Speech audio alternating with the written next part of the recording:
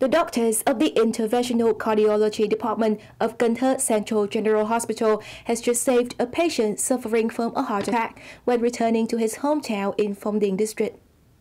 The 72-year-old male patient who has American nationality was taken to the hospital with severe chest pain, high blood pressure, sweating, and cold hands and feet.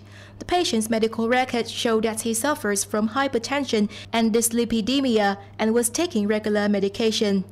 The electrocardiogram results confirm that the patient had a large anterior acute myocardial infarction, a very critical condition. In recent years, Thơ Central General Hospital has successfully treated over 7,000 cases of acute myocardial infarction, some patients in which were Singaporean, Chinese, and Belgian.